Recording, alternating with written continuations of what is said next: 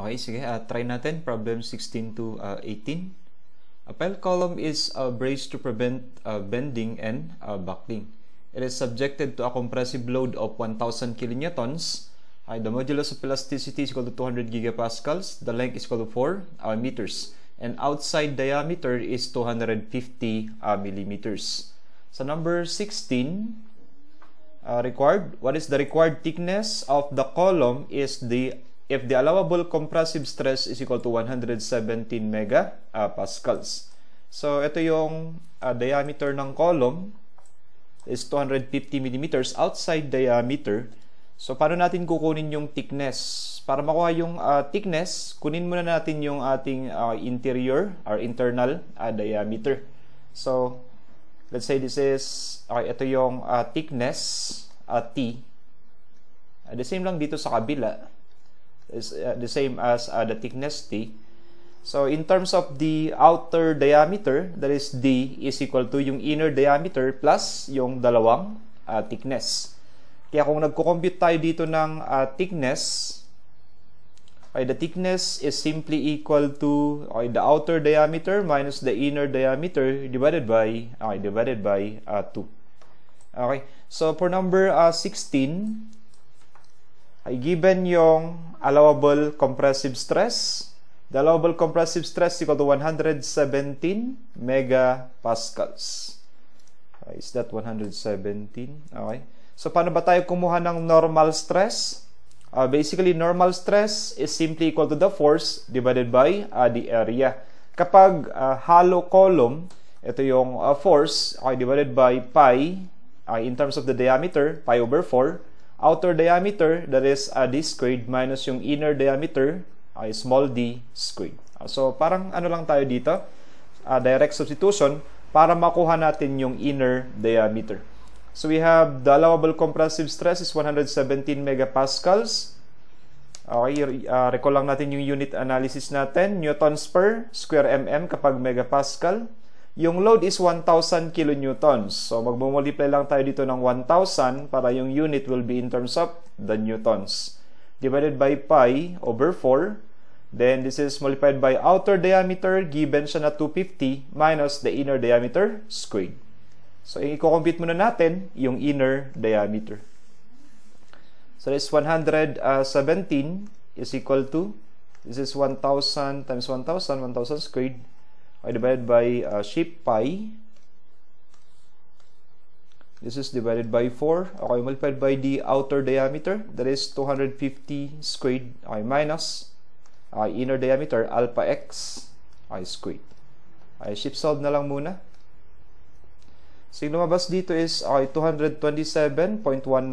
Uh, so, 227.195 millimeters. Okay, so paano ulit tayo mag-compute ng uh, thickness? Ay gamitin natin yung uh, equation na to, yung ginawa natin kanina. Hindi naman ninyo kailangang i-memorize to since okay, basically uh, ginawa ko lang based on the figure. Okay, the thickness now equal to outer diameter is 250. Yung na-compute natin na inner diameter is 227.195. Uh, This is okay, divided by uh, 2. So, thickness for question number 16 ito yung uh, 250 okay, minus 227.195. This is divided by 2. Is 11.403. 11.403 millimeters. So, check natin ito sa choices if we have that value, 11.403. Okay, for question number 16, that will be our letter uh, A, 11.40 millimeters. Sa number 17, I find the required column thickness if the allowable shortening of the column is 0.8. So, mag-consider na tayo dito ngayon ng uh, deformation for question number uh, 17. Uh, dito sa number uh, 17,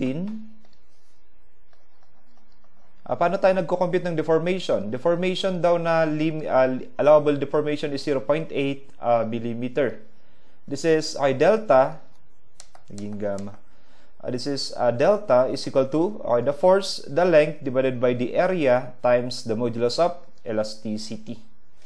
So, kapag ay hollow column, ganun pa rin yung area natin. So, delta is equal to the force, the length, that is divided by pi over 4 kapag in terms of the diameter, outer diameter squared minus the inner diameter squared times uh, E. So, substitute tayo. This is 0.8 equal to, uh, yung force natin is 1,000 times 1,000 para maging newtons. Yung length ng column is 4 meters or that is the same as 4,000 millimeters. This is divided by the area, hollow column. This is pi over 4. Outer diameter is 250 squared. Inner diameter squared. Modulus of elasticity, given siya kanina na 200 gigapascals or 200,000 mega uh, pascals. That is the newtons per square mm. Kung mag-unit analysis kayo dyan, since nagko-compute tayo ng diameter or yung inner diameter, dapat yung unit nito ay nasa millimeters. So it's uh, 0.8 mm equal to that is 1,000 times 1,000. So 1,000 squared para maging newtons times 4,000 millimeters yung length. Uh, the area is a sheep uh, pi over 4. Ay outer diameter is ay 250 squared uh, minus yung inner diameter natin, alpha x squared. This is multiplied by 200,000 megapascals. So, shift solve tayo. Is 175.126. Uh, so, 175.126 mm. So, naghahanap ulit tayo dito ng thickness. So, the same lang dito yung uh, concept na ginawa natin dyan. So we have the thickness is the outer diameter, 250, minus yung na-compute natin na inner diameter, 175.126. This is okay, divided by uh, 2. So required thickness for number 17, that is 250 minus 175.126. This is divided by 2. It's 37.437. 37.437 millimeters. Tama ba? Ay, 37.437 mm. Okay, check natin ito sa choices for question number. Ay, number 17. Ay, 37.437. Closest value is letter C. Ay, 37.433. Then sa number 18, if the allowable compressive strain is 0.00015 and the thickness of the column is 10 mm, how much is the safe load of the column? So, uh, for number 18, nagbigay na siya ng thickness at naghanap tayo ngayon ng safe load. Okay, so we have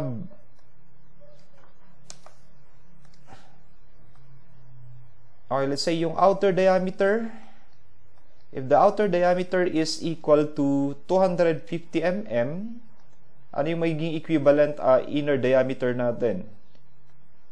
So, kapag given na yung uh, thickness, uh, yung thickness niya is equal to 10 uh, mm,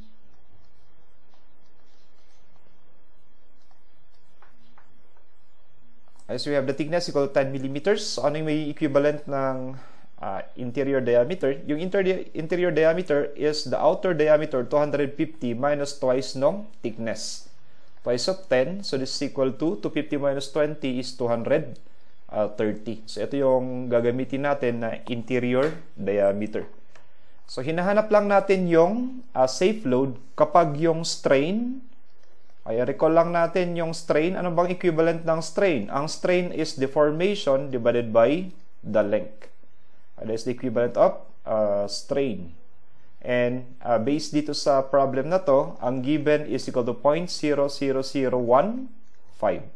So basically, ang strain ay, ay unitless. Ngayon, kung i-recall natin yung formula, ay yung formula ng deformation, that is yung uh, lowercase delta, equal yun sa PL divided by area times uh, E. So, kung i-divide natin both sides of the equation ng L, i-cancel natin yung L dito sa kabila. This is, okay, the, def, uh, the deformation, delta, divided by the length is simply equal to the strain or simply equal to the, the force divided by the area times the modulus of elasticity. So kahit uh, ito lang yung equation na gagamitin natin for this problem, number 18. Okay, that is the strain is equal to the force over area times the modulus of elasticity. Okay, gamitin natin yung uh, given na yan. There is uh, 0.00015 is equal to the force P. This is divided by the area. We have pi over 4. Ay, outer diameter natin this time. Ah, pareho pa rin naman. There is 200 250 squared. Yung inner diameter lang natin ngayon, meron na. That is 230 squared. Okay, the same modulus of elasticity, that's 200,000 megapascals. Kung mag-unit analysis tayo dyan, yung makukuha natin na force dito will be in terms of newtons. So, magmulipay lang ulit tayo dito ng 1 kilonewton is to 1,000 uh, newtons. Para yung final answer will be in terms of the kilonewtons. Okay, computing for the safe uh, load okay, in terms of the strain, 0.0015. This is times okay, ship pi over 4.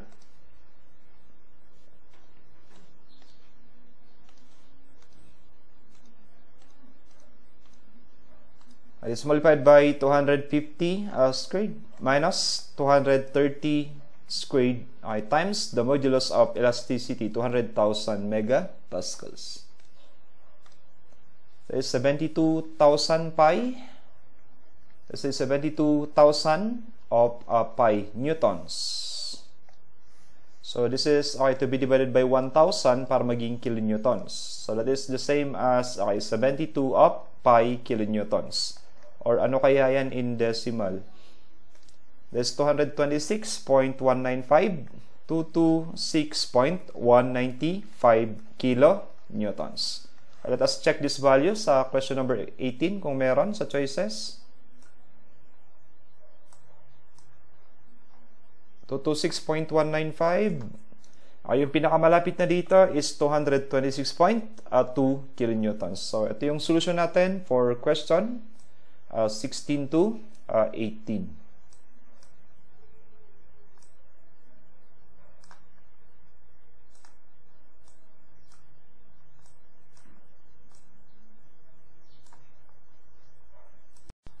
Okay, so problem number uh, 19 to uh, 21. So lumabas na rin ito sa board exam. I think ito, isa ito sa mga pinakamadaling problem na lumabas noon, nung time na yon. A steel bar carries an ore bucket of weight W hanging at its uh, lower end. So given bar diameter, yung length, yung modulus of elasticity. Tapos yung nagpadali pa dito is I neglect the uh, weight of uh, the bar. Okay, so number 19, compute the value W that can be safely carried so as not to exceed the allowable tensile stress of 138 mega pascals. Okay, so for number 19, okay, madali lang naman ito. This is, okay, the normal stress is equal to the force, okay, divided by uh, the area. Ang i-consider lang natin dito na force is yung uh, W. Tapos given naman yung allowable stress equal to 138 mega uh, pascals. So that is 138 megapascals or it's the same as the newtons per square millimeter is equal to yung force natin this time is yung weight daw sa sa dulo or sa end ng bar. Divided by okay the bar diameter. That is we have pi times this is 12 squared divided by uh, 4 square mm So obviously, yung makukuha natin na unit ng weight dito is in terms of the newtons. So this is 138 I times ay that is uh, ship pi times ay the 12 squared divided by 4. So is equal to 4,968 pi. Ay 4,968 of uh, pi. This is in terms of uh, newtons. Or Siguro pag equivalent naman nito, kung gagawin natin kilonewtons, this is divided by, uh, multiplied by 1 kilonewton is to, this is 1,000 uh, newtons. So we have the weight is equal to, okay, this value divided by 1,000 is equal to 15.607 kilo, uh, 15.607 kilonewtons. So this is ay 15.607 kilonewton. So ito na yung sagot natin sa number uh, 19. Okay, checking sa choices, 15.607. Okay, pinakamalapit na si letter A, that is 15.61. Sa number 20, compute the value W that can be uh, safely carried so as not to exceed the allowable elongation of 10 millimeters. Okay, for number 20, nagbigay naman siya dito ng uh, deformation. Okay, the value of the deformation, delta, is equal to 10 uh, mm. So we have delta is equal to, uh, this is PL divided by uh, AE. So again, yung value ng P natin, siya yung uh, weight ng bucket doon sa dulo ng okay, ng bar. So we have, uh, okay, the allowable deformation is 10 millimeters equal to, okay, that is W. Yung length is 18 meters. So gagawin ko lang siya na 18,000 millimeters. This is divided by the area. Yung area niya is uh, pi times 12 squared divided by, uh, this is divided by uh, 4. The modulus of elasticity is equal to 200,000 mega uh, pascals. Okay, so again, yung una nating makukuha na unit dito ay nasa newtons. This is multiplied by 1 kilonewton is to, okay, to be divided by 1,000 uh, newtons. Para yung uh, final answer natin, W, or the weight, will be in terms of the okay, kilo uh, newtons. So, computing for uh, the value of W, Okay, that is 10 times okay, ship pi. This is 12 squared. This is okay, divided by uh, divided by 4. This is times okay, 200,000 megapascals. Okay, to be divided by 18,000 yung length ng uh, bar. So yung lumabas dito is equal to 4,000 pi.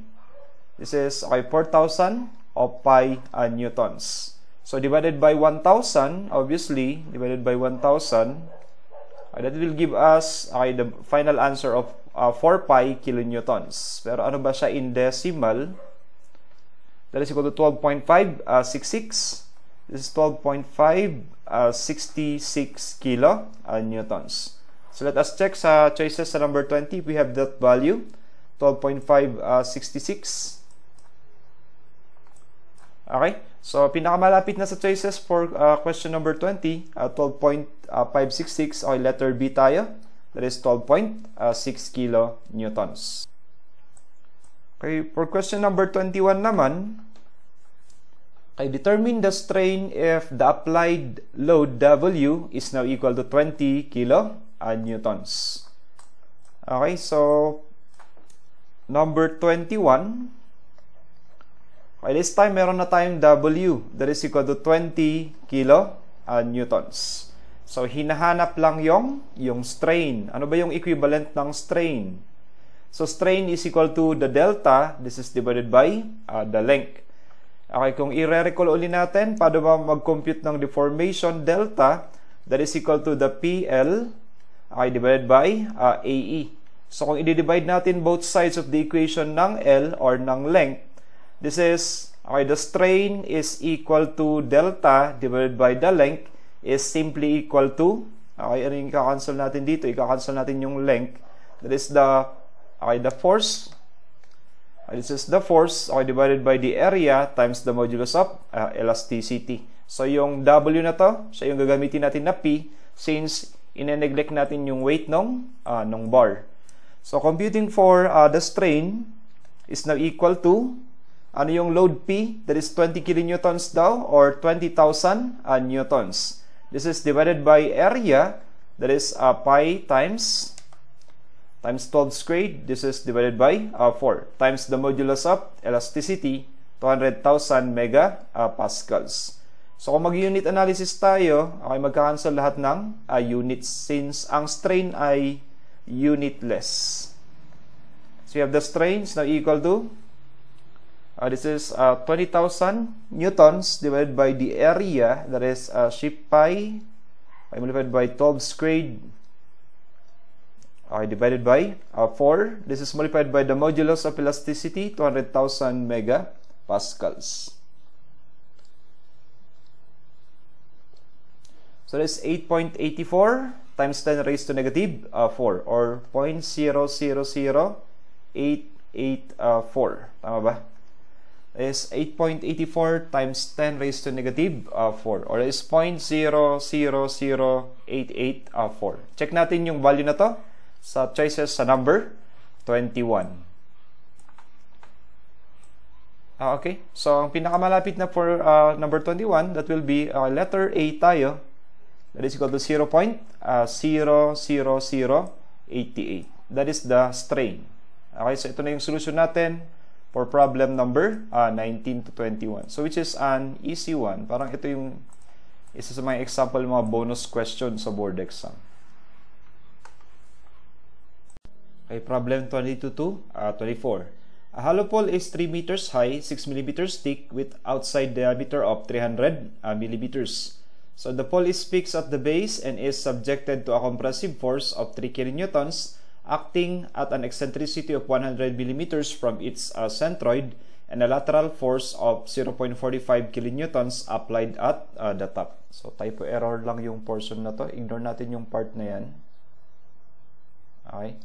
So ito yung mga questions. Number 22. compute the maximum compressive stress at the base ay due to uh, the 3 kilonewton vertical uh, load. So sa number 22, do may, parang meron tayong dalawang loadings uh, dito na i-consider dapat yung 0.45 at saka yung 0 at saka yung 3 kilonewtons. Pero according sa question number 22, i-consider lang natin yung 3 kilonewtons lang. Okay, for example, ito yung uh, figure Uh, this is for question number uh, 22.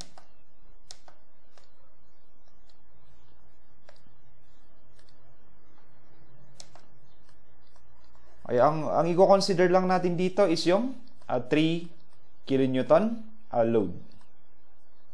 So, ito lang, na may eccentricity, hindi siya nag-act dun sa center ng hollow pole ay meron siyang eccentricity na 100 millimeters from the centroid of the of the column.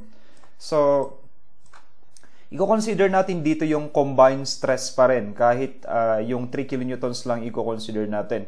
So, kung naalala pa natin paano ba mag-compute ng combined stress, ito yung positive or negative. Uh, the force over area, that is plus or minus, ay the MC over uh, I. So, axial plus uh, bending. So, kailangan lang nating maging sensi uh, pagdating sa combined stress, kailangan nating maging sensitive sa sign convention. Uh, negative tayo kapag compression and uh, positive naman kapag okay, tensile stress or under uh, tension. So, ito yung ating uh, sign convention. So, ano yung force na i-consider natin? Okay, i-consider natin na yung force P will be uh, yung 3 kilonewtons downward and kino-compress niya yung pole. So, more likely, compressive stress yung kanyang effect. Yung moment naman, ano naman yung moment due to the 3 kN load?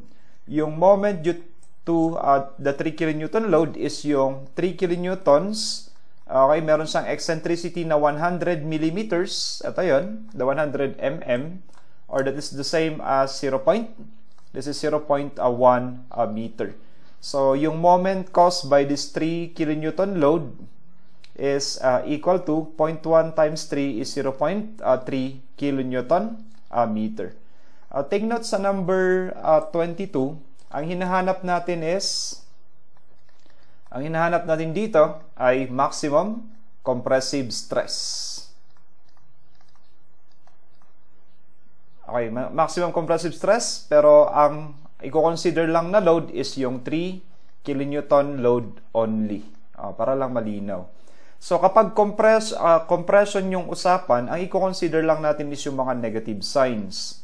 So we have this is okay, the stress is equal to yung yung effect ng uh, 3 kilonewtons is compression, so we have negative P over uh, A. Since compressive stress ang kino-compute natin, i-consider natin yung negative uh, negative compressive stress ng bending stress. Ito yung negative MC over uh, I.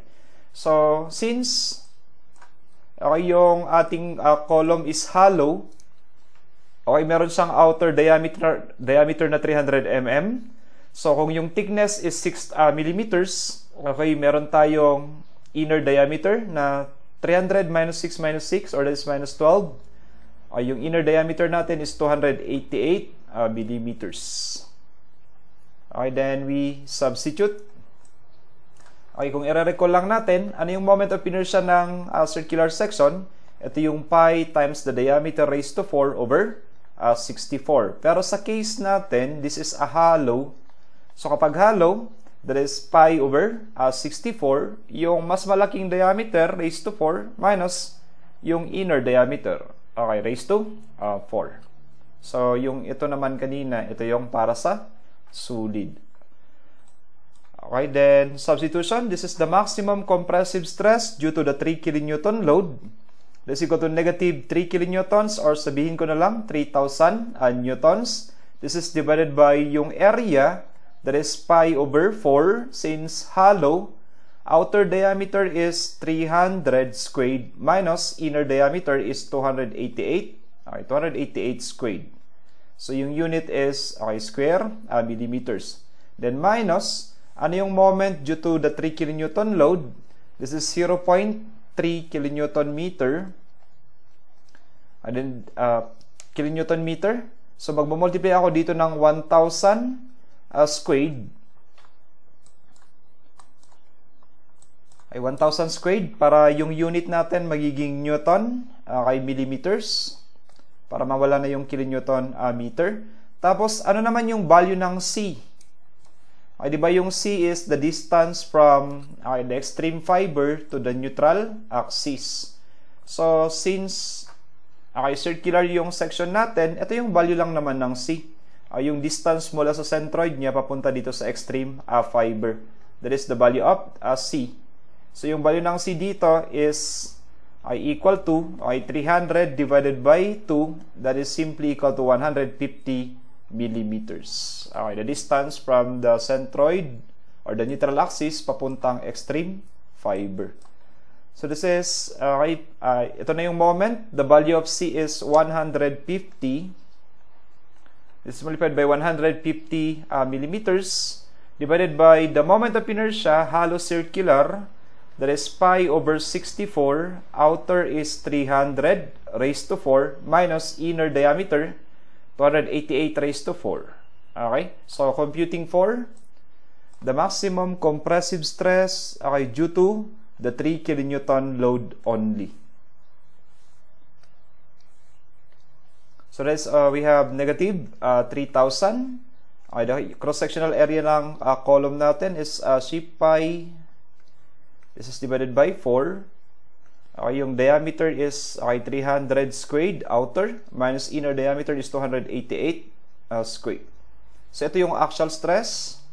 Then minus yung uh, bending stress naman that is negative uh, that is negative uh, 0.3. So gag gagawin lang natin siyang Newton mm. So this 1000 squared. Yung value ng C is 150. Kalahati ng diameter ng cir uh, hollow circular column. Then the moment of inertia is uh, shift pi over 4, 64 kapag moment of inertia.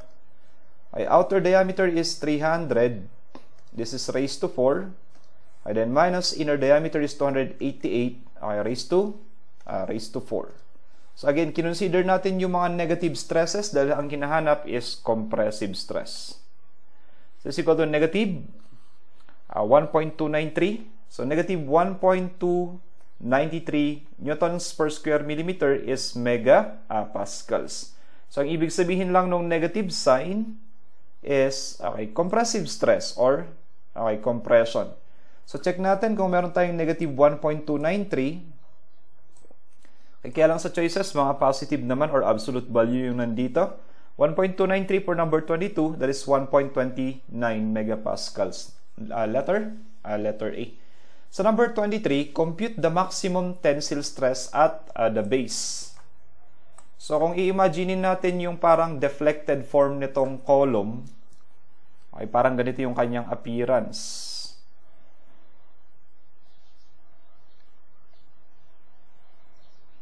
Okay. So yung portion na to, let's say uh, sa point A, dito sa point A, ito yung parang part na under uh, tension. Ito naman, let's say this is point B. Ito naman yung part na under ay compression. Uh, based sa uh, direction ng mga uh, loadings natin. So, hinahanap natin yung tension. Tapos, kung mapapansin nyo sa number 23, wala siyang sinabi kung anong load, which means i-consider natin lahat ng uh, load. Isasama natin ngayon si 0.45 kilo uh, newtons or 0.45 kilonewton. Okay, so sa number 20, uh, number 23, okay, so parang ganun pa rin naman yung ating uh, force uh, P. Wala tayong ibang uh, compressive or yes, compressive force maliban doon sa 3 kilonewtons. Ang effect niya is parang again, kinocompress niya yung column dahil isa siyang vertical uh, load. Magbabago lang yung moment natin this time. Uh, yung moment natin this time is equal to okay, uh, i-consider na natin yung dalawa. Una, which is kinonsider na natin kanina, ito yung isa. Ito yung, okay, that is the 3 kilonewtons times the eccentricity.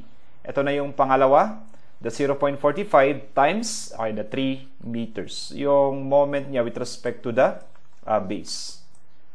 So, yung ating total moment this time is uh, yung 3 kilonewtons times 0.1 plus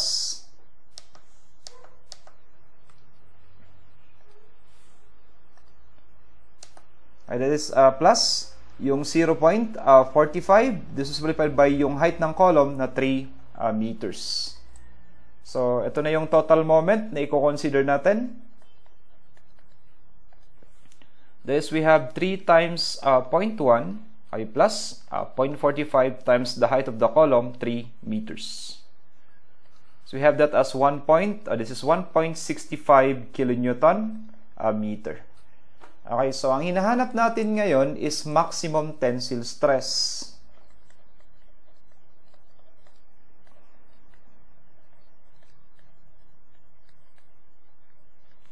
Okay, that is, we have the sigma is equal to, take note na wala tayong positive axial force. Okay, puro negative lang yung axial, axial force natin. Kasi yung 3 kilonewtons, ito again, yung 3 kilonewtons na to, kinocompress niya yung column.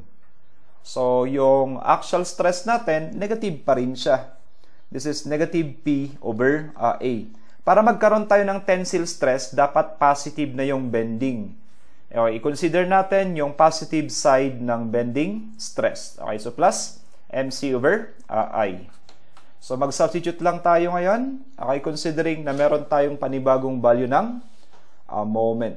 We have the combined stress is negative 3,000 This is divided by pi over 4. Uh, the area is 300 squared minus 288 uh, squared. And then plus, para magkaroon tayo ng positive value dahil positive dapat ang tensile stress. Okay, ano yung moment?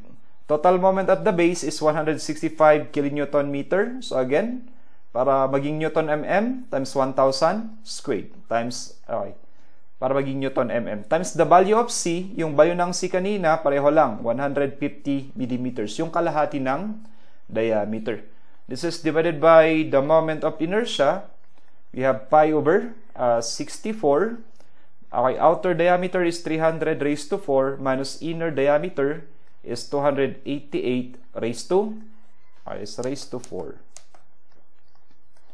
Okay, this is, okay, we have the Okay, maximum tensile stress. Kung negative pa rin yung lalabas, ibig sabihin wala tayong maximum tensile stress, kundi puro compression. Pero dapat okay, positive na yung uh, lalabas.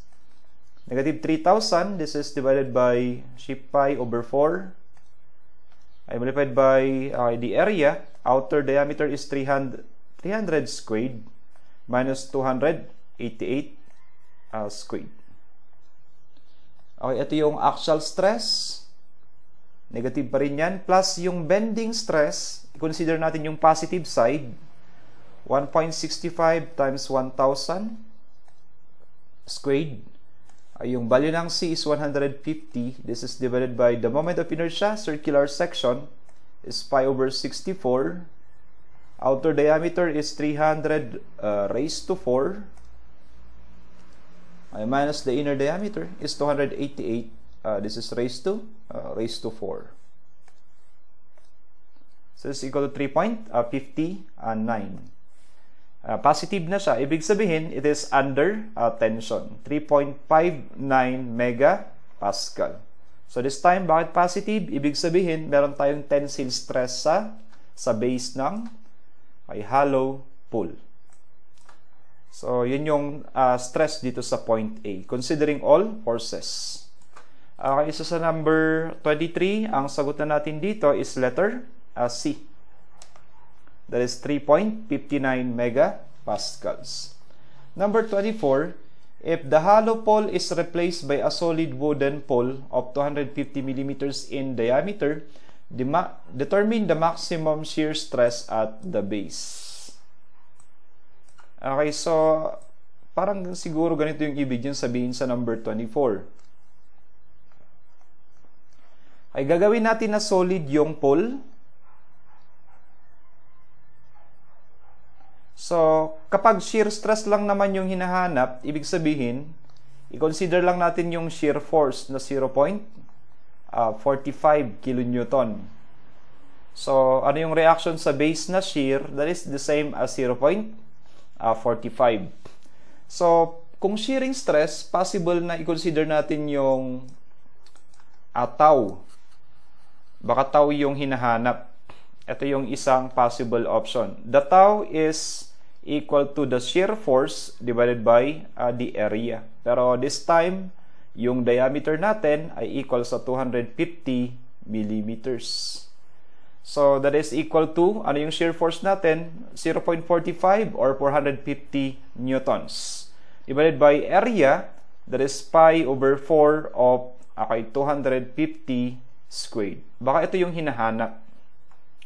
Okay, da, alam natin na kapag tau, shearing, for, uh, shearing stress, yung force ay parallel sa area.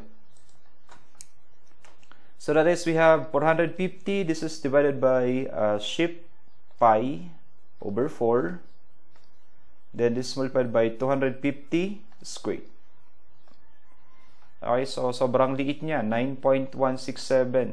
9.167 times 10 raised to negative 3 ay megapascal. Pero parang wala akong nakitang ganyan sa choices sa number uh, 24. Okay, wala. So kung ibig sabihin, hindi yan yung hinahanap natin. So possible na ang hinahanap natin dito, uh, take note na ito na yung ating shear, ay 0.45 kilonewtons, uh, siya yung ating uh, shear. Baka yung isa yung hinahanap, the F sub B equal to BQ divided by IB. Pero since uh, solid solid circular wooden pole na siya, ay applicable lang ito sa uh, sa case na circular or circle. The F sub B is equal to 4 times the shear divided by 3 times uh, the area. Okay, then kung i-recall naman ninyo, ito yung shearing stress actually, the shearing stress sa neutral axis. Okay, di ba naalala nyo kapag rectangle, Kapag rectangle naman, ito yung F sub B equal to 3B over uh, 2A. Ito rin yung shearing stress niya sa neutral axis. Pero sa case na to, okay, doon lang muna tayo sa circle. Okay, baka ito yung 4B over uh, 3A. So we have uh, the shearing stress at the neutral axis is now equal to 4 times yung shear natin is 450 newtons or yun yung 0.45 kilonewton kanina divided by 3 times okay, ano yung area? That is pi. Yung diameter ngayon is 250 squared divided by uh, 4. And sabi niya sa problem, solid, solid, uh, solid wooden, wooden pool. So F sub B is equal to, this is 4 times uh, 450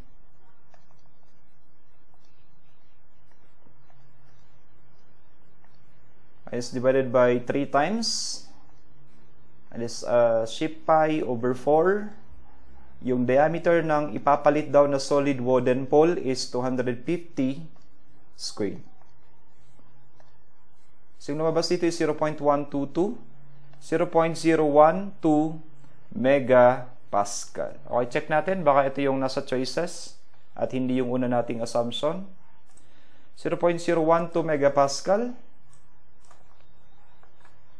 Okay, for number 24, that will be okay, letter, uh, letter C. Okay, ito na yung sagot natin for questions uh, number 22 to 20, uh, 24.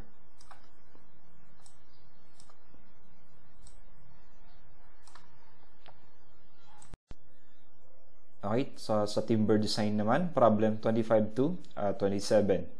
A timber beam has a circular cross-section having a diameter of uh, 250 uh, millimeters. It has a simple span of 4 uh, meters. And a CP specification states that in a circular beam, the strength is equal to the strength of a square section having the same area.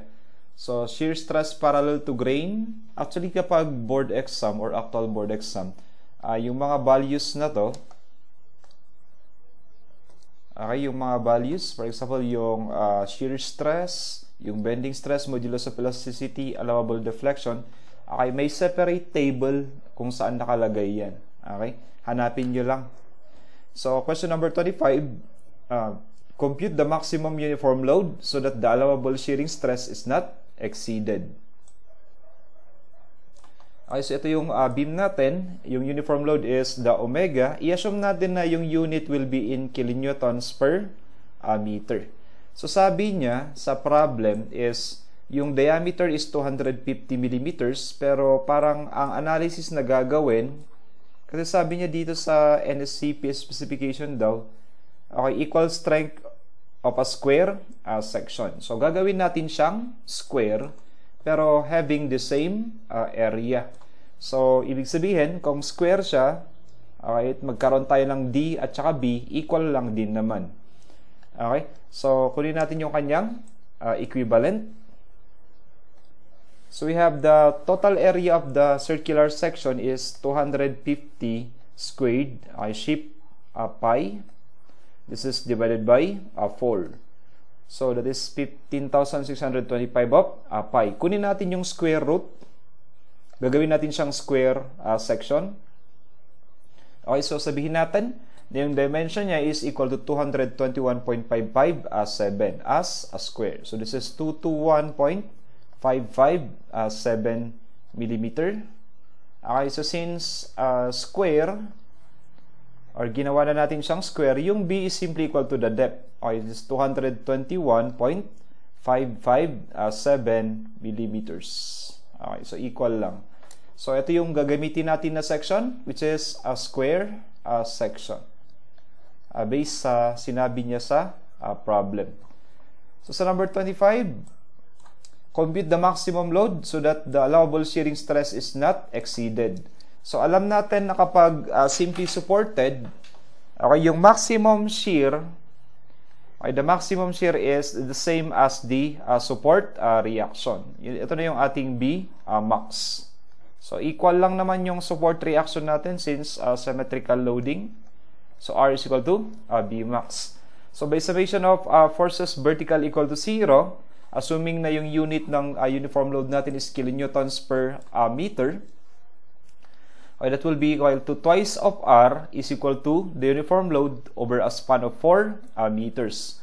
So, yung equivalent ng R natin or the same as uh, the B max will be equal to Uh, that is uh, twice, uh, the twice of the uniform uh, load. Ang unit na nito ay kilo uh, newtons.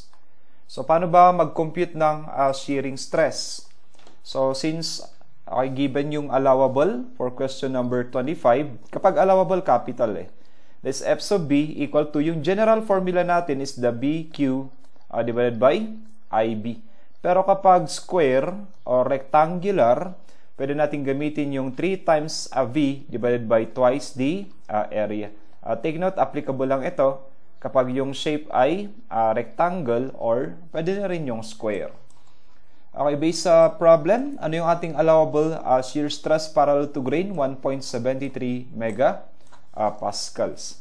So this is okay, 1.73 megapascals is uh, newtons per square mm is equal to 3 times ano yung maximum shear natin? Ito yung twice of the uniform load. Uh, take note, ang uh, assumption ko is kilonewtons yung unit niya. So, magmumultiply tayo dito ng 1,000 para maging uh, newtons. So this is uh, divided by twice the area. Ano na yung area ng section kapag i-assume na square na siya? That is, okay, 221.557 squared. So this is 2 times uh, 221.5 ay 221.557 millimeters squared. Para ito ay maging mm squared. So unit analysis. Okay, so ang may iwan naman na unit ng uh, uniform load natin is yung uh, yung inassume natin na unit niya kanina. Uh, the uniform load that is that will be equal to uh, the kilonewtons per uh, meter. So computing for that value, that is we have 1.73 uh, ay times 2 times 2 to 1.557 squared. Ay, that is divided by 3 divided by 2 then divided by 1000. So 28.307 This is uh, 28.307 kilonewtons per uh, meter. So ito yung sagot natin sa question number 25. So check natin sa choices.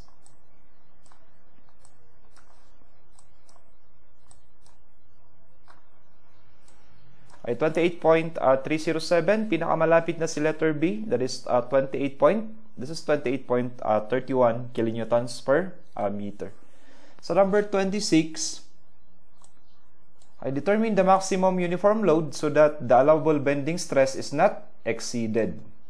Okay, paano naman natin kukunin yung maximum bending stress kapag ganyan yung uh, case? Again, sa ganitong loading, uh, this is for problem number 26, ang equivalent ng maximum moment is the uniform load, the length squared divided by uh, 8. O, pwede nyo gawin yung moment diagram. This is the uniform load Okay, the length of the span is 4 squared. This is divided by uh, 8. Ano yung kanyang uh, equivalent? Okay, 4 times 4 is 16 divided by 8. That is the same as twice of uh, W or the uniform load. So since moment yan, ang unit na niya is kilonewton uh, meter. So ano yung ating allowable bending stress? That is 16.5 mega uh, pascals. So we have this is okay, F sub B is equal to 16.5 mega uh, pascals. So, capital letter usually kapag allowable. And yun yung nakikita sa NSCP. So, paano ba kumuha ng bending stress ulit? We have the F sub B is equal to, kapag general formula, ito yung MC divided by uh, I. Pero kapag rectangular, pwede natin gamitin yung 6 times the moment divided by BD squared. So, applicable lang ito kapag rectangular yung uh, section. So what is our allowable bending stress? That is 16.5 megapascals or the newtons per square mm is equal to 6 times ano yung magnitude ng moment natin ngayon? That is the same as twice of the uniform load. Uh, take note na ang unit niyan is kilonewton meter. So magmo-multiply ako dito ng 1,000 squared para maging newtons yung kilonewton para maging millimeters yung meter. This is divided by uh, B. Yung B niya is 221.557. Yung D niya, since that is square, uh, pareho lang yun. Uh, remind lang natin, that is equal. Since square section na siya. That is, okay, 221.557 uh, squared. Okay, computing for uh, the uniform load. Ang unit nito ay nasa kilonewtons per uh, meter.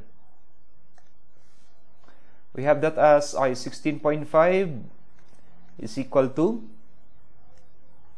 that is uh, 6 times uh, 2 times okay, the uniform load alpha x na lang muna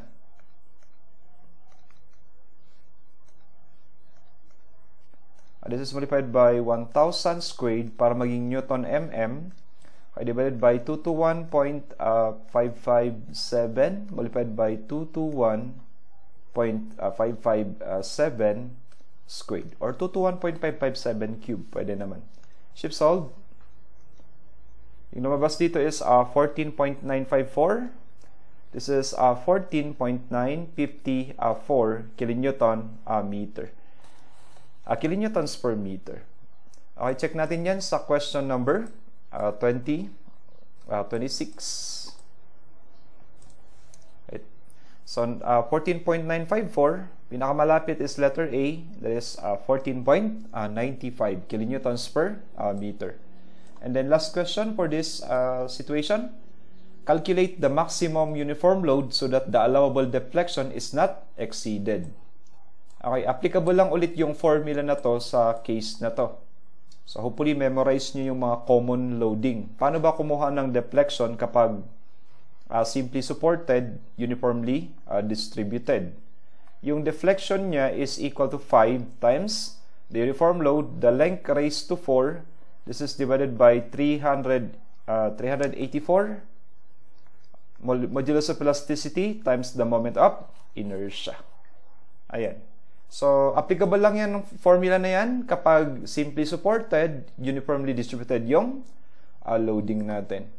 So, yung allowable deflection, ano ba yung allowable deflection natin? The allowable deflection is okay, 1 over 240 of the span. Tapos yung modulus of elasticity is 7.31 giga uh, pascals. Okay? So, the allowable deflection is equal to the span divided by 240. Okay, so substitute tayo. The length of the beam is 4 meters or sabihin ko na lang 4,000 millimeters divided by 240. Yan yung allowable deflection. Is equal to 5 times the uniform load. Yung length ng beam is okay, 4,000. This is raised to uh, 4. Okay, divided by 384 Okay, yung given na E or yung modulus of elasticity is 7.31 gigapascals or 7,310 megapascals. Uh, ginawa ko lang megapascals para uniform tayo sa unit. Then, okay, moment of inertia, ano yung kanyang base? Yung base is 221.557. Uh, ano yung depth? Pareho lang, square. That is 221.557 uh, cube. This is divided by uh, 12. So, moment of inertia ng rectangular section, uh, the BD cube divided by uh, BD, BD cube over uh, 12. Okay, computing for the uniformly distributed load, uh, pwede natin i-cancel yung isang 4,000 dito. So, ito magiging uh, cube na lang. So, that is 1 over uh, 240 uh, is equal to this is 5 times, sabihin natin, this is alpha x divided by 4,000. This is uh, raised to uh, 3. Okay, divided by 384. Yung E is 7,310. Okay, moment of inertia is BD cube over 12. Pero since square, pareho lang, 221.557 times 221.557 cube. Uh, gawin ko na lang 221.557 uh, raised to 4. Then this is divided by uh, 12. Then, okay, shift solve. So, yung lumabas dito is 7.339. 7 point. This is 7.339 uh, kilonewtons per uh, meter. So, ito na yung sagot natin sa number uh, 27. Okay, check natin yun sa choices for problem 27. 7.339, pinakamalapit na is letter C, 7.34 kilonewtons per uh, meter. So ito yung solution natin for problem 25 to uh, 27. Kapag timber naman, more likely parang strength of materials lang yung uh, mga formula na ginagamit. Okay, question number uh, 28 to uh, 30. A simple wooden beam 50 millimeters wide by 250 mm deep and 7.5 meters long has a maximum deflection of 102 millimeters under uh, uniform load uh, W. So a third support is uh, placed at the midspan to make the deflection uh, zero. So E sub W or the modulus of elasticity of the wood is 12,411 mega uh.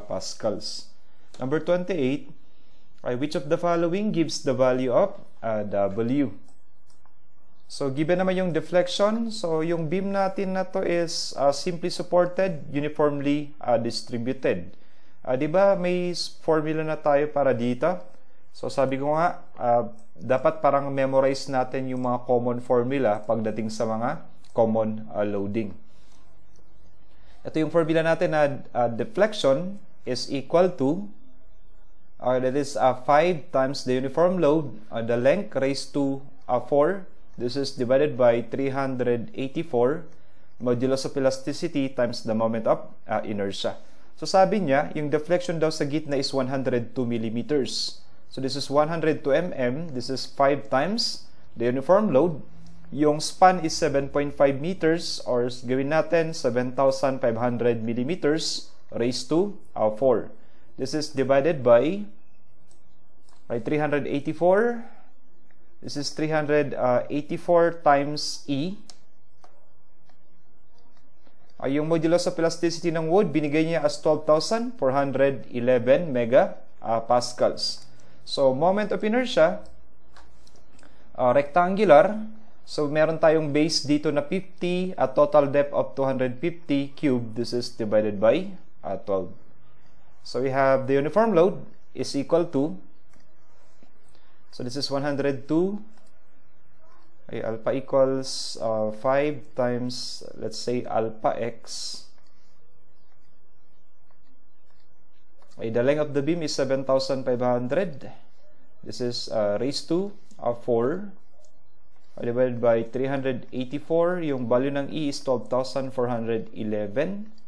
Then yung moment of inertia is 50. Yung depth ng beam is 250 uh, this is uh, raised to uh, raised to 3 I divided by 12 I computing for uh, the uniform load. That is 2.000469 so sabihin na lang natin siguro that is 2 kilonewtons per uh, meter. Or yung unit na to is parang pareho lang din naman sa 2 newtons per mm so 2 kilonewtons per meter is the same as newtons per mm So sa choices for problem 28, ay so yung magiging sagot natin dito is equal to, okay, dito tayo sa letter B, the 2 kilonewtons per uh, meter. Okay, so number uh, 29, which of the following gives the maximum moment carried by the uh, beam when the third support is placed at the midspan? Okay, so parang ito yung situation sa number uh, 29.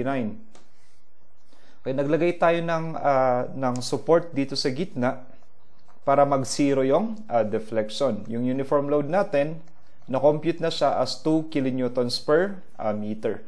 So, pwede natin kunin yung moment by okay, the shear and moment uh, diagram. Pero para makagawa natin yon, kunin muna natin yung value ng ay ng P. Ano ba yung value ng uh, reaction dito sa uh, gitna or sa midspan? So, ang nangyari is parang ganito. Okay, uh, meron tayong, naglagay tayo ng force P para mas mawala yung deflection. Okay, paano ba kumuha ng uh, maximum deflection kapag ang isang beam ay may concentrated load sa gitna?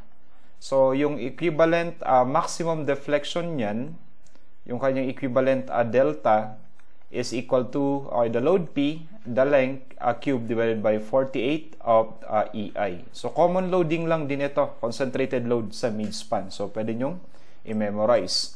Then, kanina, kapag uniform load, okay, yun na yung uh, 5WL to the fourth. Okay, yung kapag uniform load, ito yung 5WL to the fourth divided by 384 of uh, EI. So, di ba parang ito yung uh, ginawa natin. So, ang, ang nangyari is, okay, we have yung uniform load or yung deflection due to uniform load. Okay, plus yung deflection due to, uh, ito yung deflection due to concentrated load plus yung uniform load due to, uh, yung deflection due to uniform load, sorry, is equal to uh, zero. So, ginawa lang siyang zero. Okay. So, yung deflection due to concentrated load plus yung deflection due to uniform load should be equal to uh, 0 since okay, ang direction ng load P natin ay pataas. So, kunin muna natin yung value na yan. That is P times the length is 7,500. This is divided by ay 48 uh, EI. That is uh, 12,411 Uh, then, uh, yung moment of inertia ng uh, beam, uh, PL cube pala do. PL cube. 48e, yung i is 50 times 250, this is raised to 3 divided by uh, 12. Pero alam natin yung equivalent ng deflection due to uniform load. So, di ba yung equivalent nito ay nasa uh, yung 100 uh, 2 millimeters kanina. So, since yung uh, initial direction niya kanina is downward, okay, di ba, ang initial direction nito is downward kanina. So, i-assume natin na ay negative yan. So, negative 100 uh, 2 mm. So, this is, I assume to be negative 102. Ay, negative 102 uh, is equal to uh, 0. So, dito natin makukuha yung uh, reaction dun sa support sa uh, gitna. So, that is the same as 102 times This is 48 times uh, 12,411 This is times uh, 50 times okay, 250 raised to uh, 3. This is divided by 12. Okay, to be divided by 7,500 uh, cube. Okay, so double check lang natin. This 102 okay, times uh, 50 times 250 uh, this is uh, raised to 3 uh, divided by uh, 12 ay times ay 12,411 ay times uh, 48 and yung sagot na yan is to be divided by 7,500 yung length ng beam ay raised to uh, 3 is 9,377.2. So sabihin na natin 9,377 point. This is 0.2 in terms of uh, newtons. Or kung, kung gagawin natin siyang kilonewtons, this is equal to 9.377 uh, ay kilo uh, newtons. So, kunin natin yung mga reactions sa magkabilaan Okay, so since symmetrical loading yan, equal yung support reaction sa magkabilaan. This is uh, 9 point, uh, 9.377. So yung reaction dito, R equal lang din dito sa uh, kabila. Let's say also equal to uh, R. Ay, kunin natin yan by summation of forces uh, vertical. So summation of forces uh, vertical equal to 0, assuming upward forces to be uh, positive. So yun yung uh, twice of R plus 9.377 minus twice of uh, yung 2 kN meter to a total span of uh, 7.5 meters equal to uh, 0. So ano kayang magiging equivalent uh, support reaction natin sa magkabilaan? So this is 2 times uh, 7.5 ay minus uh, the 9.377 this is to be divided by uh, 2 so it's 2.81 812 sabihin na lang natin this is 2.81 uh, 2 kilo newtons then obviously parang ang mangyayari kapag may support reaction tayo dito sa gitna yung maximum deflection ay dito sa uh, mid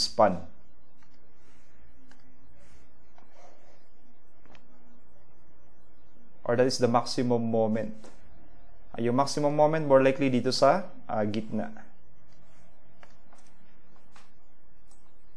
Okay, so yung reaction natin uh, dito sa left end is uh, 2.81. Okay, from 0, tataas tayo. Let's say this is uh, 2.81, 812. So 2.812 This is 2.812 uh, minus, that is 2 times yung kalahati ng uh, 7.5, that is 3.75. Uh, that will give us a value of negative 4.688. Uh, okay, negative uh, 4.680, uh, 688. Okay, then plus yung support reaction, is plus uh, 9.377. So yung lumabas dito is uh, 4.689 positive.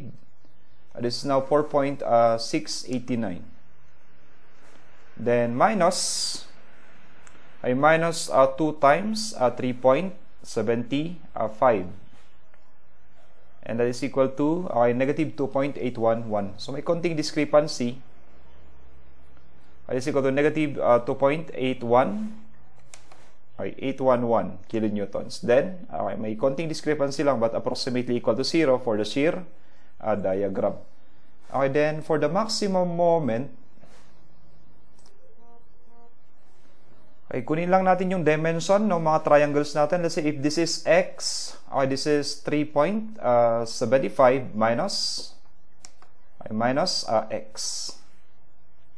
So, ratio and proportion of similar triangles, that is uh, 2.812 uh, is to let's say alpha x is equal to uh, yun yung uh, 4.688 is to uh, the 3.75 minus let's say alpha uh, x. So shift solve. Mag-assume tayo ng value let's say 2 that is 1.406 uh, this is 1.406 uh, meter So, ano yung magiging uh, equivalent ng moment na yan? Kunin lang natin yung area ng shear diagram.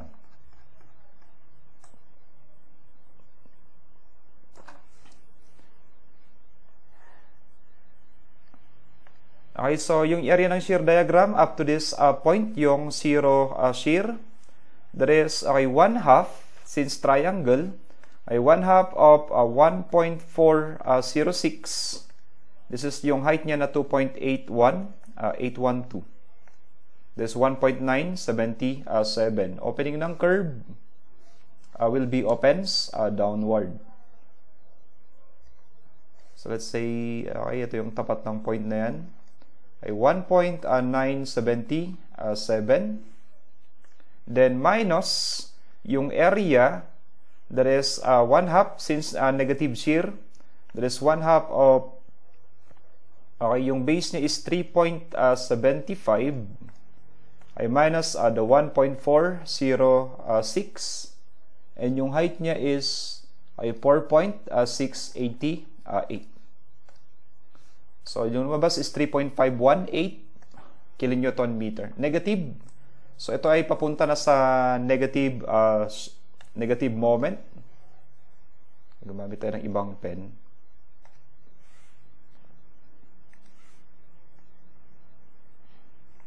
Okay, so yung lumabas na value is okay, negative 3.518.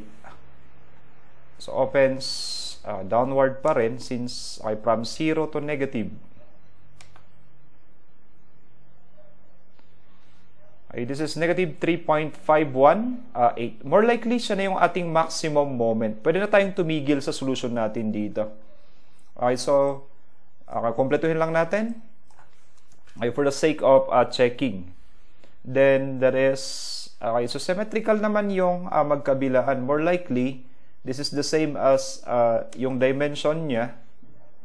This is 3.75 uh, minus x. This is the same as uh, 1.406. Uh, okay, for the sake of checking na lang.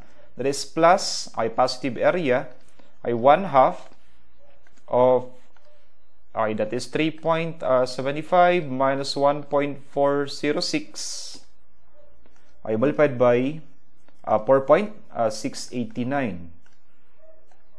So 1.978 positive. So tataas tayo 1 point. This is 1.978.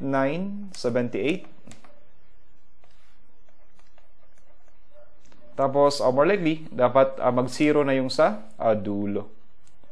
So again, kapag ganito yung case uh, ng loading natin, yung maximum moment is dun sa may ano, sa may uh, support uh, reaction sa gitna. That is okay, 3.51 uh, 8. So yun na yung sagot natin sa number uh, 29.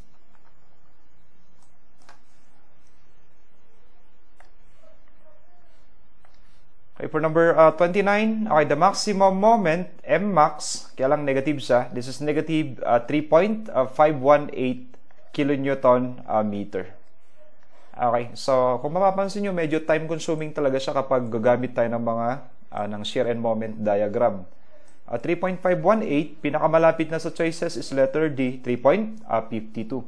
Okay, kapag ganito naman yung case, pwede ninyong i-memorize yung uh, formula ng maximum uh, moment. Kaya lang, yun nga, mahirap mag-memorize sa dami ng mga load cases natin.